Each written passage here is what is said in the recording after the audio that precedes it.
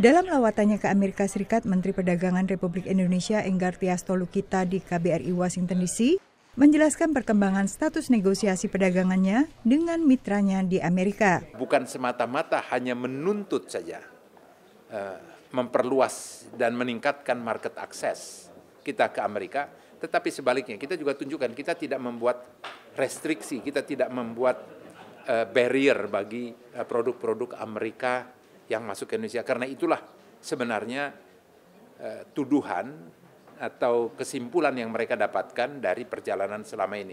Indonesia termasuk negara yang sejak April 2018 dikaji ulang status keringanan pajak impor oleh Kantor Perwakilan Dagang Amerika Serikat USTR. Keringanan pajak yang dikenal sebagai GSP atau Generalized System of Preferences ini diberikan Amerika Serikat ke 120 negara berkembang.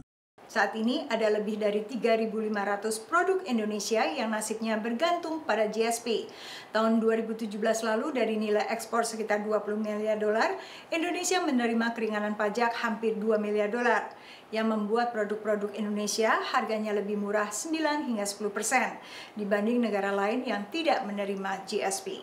Tanpa GSP, importir Amerika bisa jadi melirik produk negara lain seperti dijelaskan Selim Ozadamar dari Royal Chain Group, perusahaan perhiasan Amerika yang sebagian besar perhiasan emasnya berasal dari Indonesia. Oh, that would be detrimental. That would be increasing our cost and it might even force us to go and look for countries where there is GSP, where we might have to move our business from Indonesia towards other countries. And that's the fear, that's what we really don't want to do.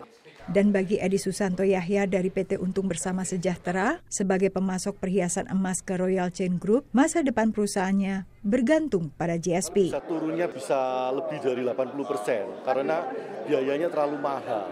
Karena biaya impor duty dari tanpa GSP 5,5 persen. Itu untuk perhiasan sangat mahal sekali. Selama di Amerika, selain bertemu dengan mitranya dari Amerika Serikat, Mendak Enggartiasto Lukita juga menghadiri sejumlah pertemuan dengan kalangan bisnis untuk menjajaki berbagai peluang untuk mendongkrak nilai ekspor Indonesia ke Amerika yang ditargetkan tahun ini naik 7,5 persen sekaligus menyaksikan penandatanganan MOU atau nota kesepahaman antar perusahaan importir dan eksportir kedelai Indonesia Amerika. Dari Washington, Yunisalim dan tim VOA. So suicide by